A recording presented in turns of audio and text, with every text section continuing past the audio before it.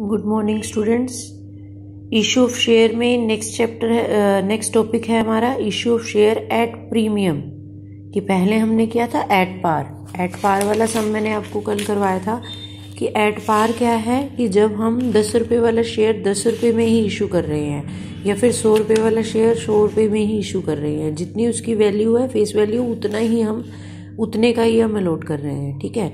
तो ये था हमारा इशू शेयर एट पार इसमें एक लास्ट में एंट्री थी कि कोई भी आपको एक्सपेंसेस दिए गए होते हैं शेयर इशू एक्सपेंसेस या फिर इनकॉर्पोरेशन या फिर पर मोटर एक्सपेंसेस जिसको बोलते हैं तो अगर वो दिए गए हैं हमें क्वेश्चन में तो जैसे हम और एक्सपेंसेस करते हैं तो इसकी भी जनरल एंट्री सेम करेंगे। Share issue expenses account debit to bank incorporation cost to equity share capital अब यहाँ हमने टू बैंक ना करके हमने इक्विटी शेयर कैपिटल क्यों किया कि हमने उसको कैश नहीं दिया, हमने उसको अपने शेयर्स दिए हैं।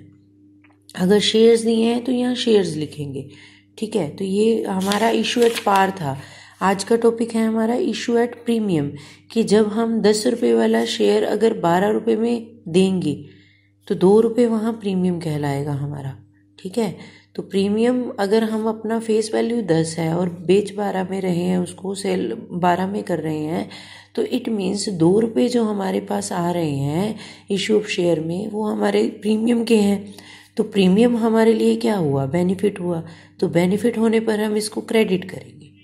ठीक है? इसको क्रेडिट ही किया जाएगा। उसके बाद है, अगर हमारा इसी तरह से सपोज़ अगर हंड्रेड रुपीज़ का है हंड्रेड पे भी हमने ट्वेंटी परसेंट प्रीमियम पर रखा है तो इट मीन्स हंड्रेड का ट्वेंटी परसेंट हुआ one twenty total one twenty means twenty hundred पे ट्वेंटी हुआ ट्वेंटी हंड्रेड का तो शेयर है प्लस ट्वेंटी प्रीमियम के हैं तो टोटल शेयर की वैल्यू आ जाएगी वहाँ वन ट्वेंटी बीस रुपये जो हमारा प्रीमियम होगा, इसमें हम जो जनरल एंट्रीज करते हैं, वो कैसे करते हैं? स्टार्टिंग वाली एंट्रीज हमारी सेम आएँगी। जब भी हम एप्लीकेशन मंगवाते हैं, तब हमारी ये फ़र्स्ट एंट्री हर क्वेश्चन में सेम होगी। Bank account debit to share application application money received including premium अगर हमारा इसमें इंक्लूडिंग प्रीमियम होगा तो यहाँ हम प्रीमियम नहीं दिखा रहे। वो प्रीमियम हम कब दिखाते हैं? जब हम कैपिटल में ट्रांसफ़र करते हैं। वो तब दिखाएँगे। तो फ़र्स्ट एंट्री हमारी सेम होगी। यहाँ हम लिख देंगे नीचे कि इंक्लूडिंग प्रीमियम अगर हमने प्रीमियम मंगवाया है। नेक्स्ट एंट्री होगी हमारी share application to share capital यही एंट्री हमने की थी। लेकिन सिक्योरिटी uh, प्रीमियम आएगा अगर हमने एप्लीकेशन के साथ प्रीमियम की अमाउंट मंगवाई है। और ये हमारा बेनिफिट है तो हम इसको क्रेडिट करेंगे। ये ध्यान रखना है कि प्रीमियम की अमाउंट हमेशा क्रेडिट की जाएगी। तो share application to share capital ये लास्ट क्वेश्चन में हमने किया था सिर्फ़। सिक्योरिटी प्रीमियम नहीं लिया था। ये किस केस में है? जब हम एप्लीकेशन के साथ प्रीमियम मंगवाते हैं। और ऐसा भी हो सकता है कि हम प्रीमियम को जो है अलॉटमेंट के साथ मंगवाएँ। अलॉटमेंट के साथ जब हम मंगवाएँगे तो जब हम अलॉटमेंट ड्यू करते हैं share allotment account debit to share capital जब हम उसको ड्यू करेंगे लास्ट लेक्चर देख सकते हैं लास्ट लेक्चर में आपको अब का और पहले वाला डिफरेंस क्लियरली नज़र आएगा कि क्या डिफरेंस था। तो इसमें क्या होगा, हमारा यहाँ तक एंट्री की थी हमने, ठीक है ड्यू करने पर। लेकिन अगर हम प्रीमियम मंगवा रहे हैं तो हम प्रीमियम क्रेडिट करेंगे। और इस केस में अपोजिट हो इस केस में भी उसी तरह से जैसे बैंक अकाउंट हमने डेबिट किया, टू शेयर अलॉटमेंट किया, वैसे ही आ जाएगा।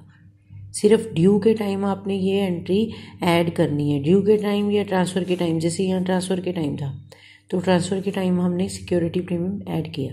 तो ये डिपेंड करता है, क्वेश्चन में क्या बोला गया है कि एप्लीकेशन के साथ प्रीमियम आएगा या अलॉटमेंट के साथ प्रीमियम आएगा। तो इसमें जब भी मनी रिसीव होगी तो रिसीव की एंट्री हम यही दिखाएँगे bank account debit to share allotment यहाँ नहीं होगा, यहाँ कुछ नहीं किया जाएगा, क्योंकि हमने एक तरफ़ उसको क्रेडिट कर दिया है। जैसे हमने फ़र्स्ट एंट्री में भी कुछ भी नहीं किया था, जितनी अमाउंट आई, उसको बाद में हमने डिवाइड करके बताया कि ये इतनी कैपिटल की थी, इतनी हमारी प्रीमियम की थी। ठीक है? तो यही नया पॉइंट था हमारे आज के इस टॉपिक में। तो जो ये सम दिया गया है आपको, ये क्वेश्चन जो दिया गया है, इसमें अलॉटमेंट के साथ प्रीमियम है। अलॉटमेंट के साथ इंक्लूडिंग प्रीमियम है। तो एप्लीकेशन वाली सेम जो एंट्रीज हैं वो सेम होंगी। अलॉटमेंट जब ड्यू करेंगे, तब उसकी प्रीमियम वाली अमाउंट जितने आप प्रीमियम मंगवा रहे हैं, वो इंक्लूड किया जाएगा। क्लियर बस, और जब बाद में आप करेंगे तो bank account debit to share allotment बाकी एज इट इज़ रहेगा, चाहे वो फ़र्स्ट कॉल है, चाहे वो सेकंड कॉल है, उसमें कुछ भी चेंज नहीं आएगा। सिर्फ़ अलॉटमेंट में आपका सिक्योरिटी प्रीमियम जब आपने ड्यू किया है, तब उसको क्रेडिट करेंगे। बस, एक ही एंट्री ऐड की जाएगी। तो आज के लिए आपने यही क्वेश्चन करना है issue of share at premium okay thank you have a nice day